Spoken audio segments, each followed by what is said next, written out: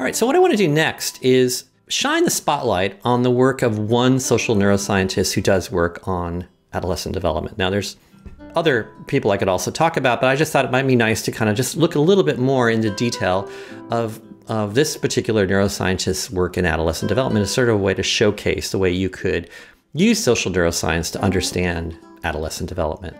And that person I want to focus on here for a bit is Sarah Jayne Blakemore who's at Cambridge University in the um, Department of Psychology there. Blakemore actually got her PhD from Oxford, I believe, and she worked with a guy named Chris Frith there. You can see here that she's holding up a book that she wrote called Inventing Ourselves, The Secret Life of the Teenage Brain that I'd highly recommend to you. It was a winner of the Royal Society Prize for Science Books back in 2018.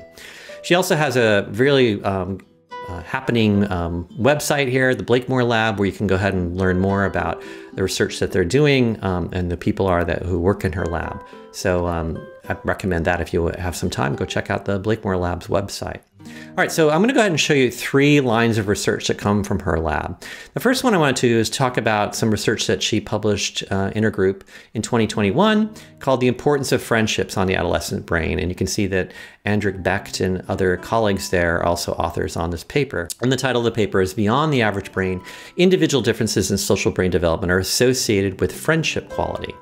So in this study, they, they looked at 299 Dutch adolescents from puberty to their late 20s, and they looked at them at three time points. Now, I should say that they're not all starting at puberty. It's like some of these participants are 18 when they start, others are 20 or 25. So they have three time points, but they all start the study at different ages. Okay, so it's a way to have sort of like a mix of a longitudinal design that's also cross sectional. And in this study, the two main things I want to focus on here is they looked at friendship quality. So they asked them to fill out some measures of um, the kind of friends they have and how extensive that friendship network is.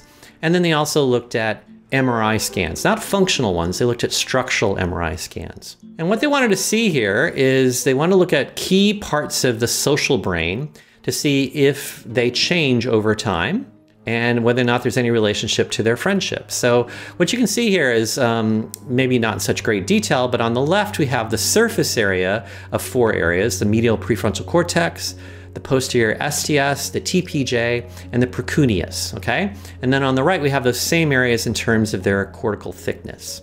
So cortical thickness, the lower it is on the y-axis, that means there's more thinning going on, that there's pruning that's been occurring, and that the brain is developing more. So remember I told you this happens in adolescence that we get, we're gonna get those, that gray matter to decline because of more pruning and more changes that are happening. It's thinning of the cortical thickness. So it's basically like a measure of how much the gray volume is going down. The surface area also tells us this. It means that if you have it going down on the left part of this these pictures, we're going to also see evidence of the brain developing that we have more pruning. So we can kind of see how quickly it's changing here. And on the x-axis, you can see different ages going from 10 up to 25, 26, somewhere in the late 20s.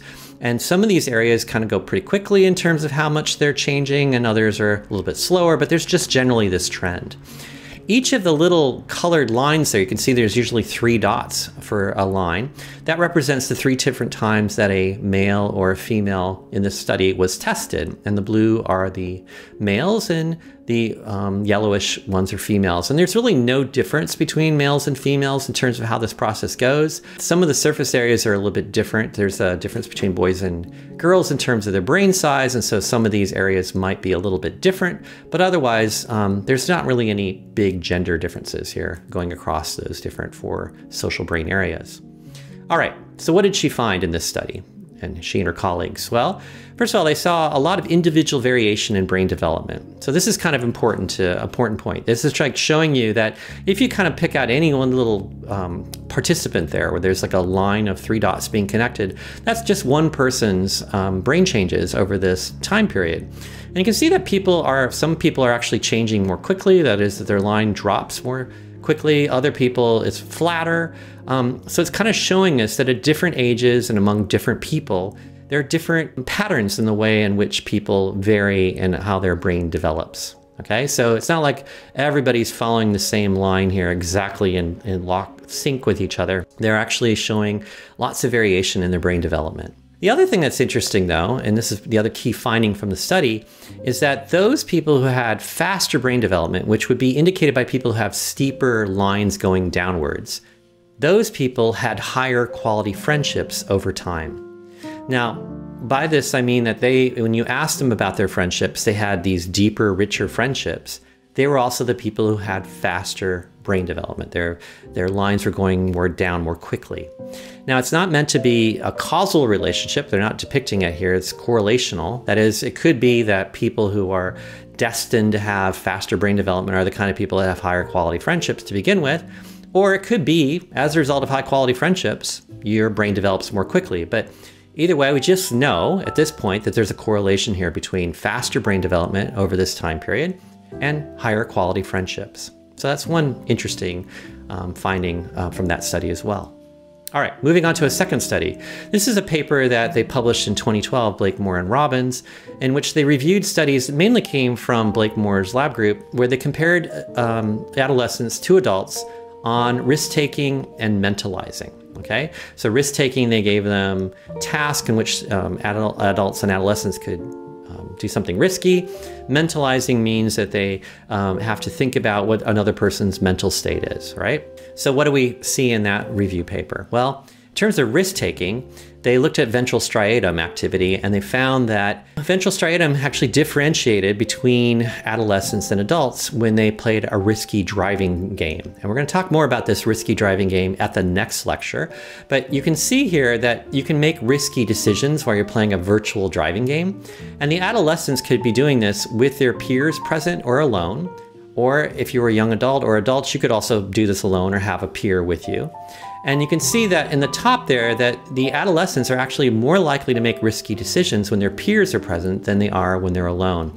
In fact, when they're alone, they're not actually any significantly any different from young adults or adults in terms of their risky decisions, but having a peer around makes them take riskier decisions. And likewise, you can see that those risky decisions are associated in the bottom graph with changes in their ventral striatum. So when their peers are around them, they're and they're making these risky decisions, you can see that they're more likely to show activity in the ventral striatum, much more activity compared to when they're alone. There's not really any differences for young adults and adults um, when they have a peer present versus alone in their ventral striatum. So what that tells us is that perhaps part of that risk taking is being driven by the rewards that come from showing off in front of your peers, you know, taking risks in front of them. And that's sort of a, a reward in itself. And so maybe that's what's driving that sort of risky behavior that we're seeing in these adolescents. In terms of mentalizing, they looked across adolescence and they see that there's sort of a developmental shift that happens from anterior to posterior cortical activity when people try to infer the inter intentions of others. So if you look at young adolescent brains when they're trying to understand the intentions of other people, they tend to use their medial prefrontal cortex to do this. But as you compare this to adults, adults tend to go more towards the fusiform gyrus and the TPJ, the temporal parietal junction, to infer the intentions of others. See that for adults, we tend to focus a lot on the TPJ and the fusiform gyrus to understand empathy and mentalizing and so on. But at this point, when you look at young adolescents, they haven't really started using that part of their brain yet. They're, they're tending to focus more on the medial prefrontal cortex, which, as I mentioned to you, isn't even fully developed yet. And that seems to be the place where they are end up using um, the, more of their brain to try to understand the intentions of other people. Third thing I want to just mention is kind of goes back to that first study that I already mentioned of Blakemore's that when adolescents don't take risks, it's usually because of friends. So adolescents are generally risk takers right? So they take a lot of risks. But the one kind of risk taking that they try to avoid is social risk taking. That is, if there's a chance that they could lose a friendship or not get approval from their friends, they won't take the risk. So they don't want to be excluded. So if you kind of emphasize then that or focus on the fact that adolescents really want to avoid being cut off from their friends, they really want to be rewarded with them. And then you combine it with some sort of risk taking for more dangerous kinds of behaviors, you can actually get quite problematic behaviors happening among adolescents, right? So if you if the risk taking about some problematic behavior, let's say drinking uh, alcohol at a young age, if that is happening because the adolescent doesn't want to risk being excluded from their friends, because that's the risk they want to avoid is um, being excluded, then they're more likely to engage in that problematic behavior if those two things are tied together. And so here's a nice uh, example from that paper that I mentioned there that that when you look at different kinds of risk domains, the expected involvement in these risk behaviors is related to how much social benefit they think they're going to get from it. So you can see that aggressive and illegal behaviors are more likely to occur the more the adolescent perceives that there's a social benefit from engaging in that risk behavior. You can see that substance abuse also goes up the more an individual thinks that that's going to be beneficial. Um, there's one thing that's kind of going down there, and that's risky sex. And you can see their social benefit of being involved in risky sex um, is uh, the, the more they think that there's a benefit of that, the more likely it is that they're not going to engage in risky sex. But the other ones, risky drinking, substance abuse, and aggressive and illegal behaviors, tend to go up the more the adolescent views that as a social benefit by engaging in those risk behaviors. So that's just, again, something to keep in mind that if adolescents are already taking a lot of risks and we combine that with what rewards they might get from their friends, um, you got some kind of dangerous combinations here going on here where you could end up with addictive behaviors or other kinds of behaviors that are destructive to their um, social lives.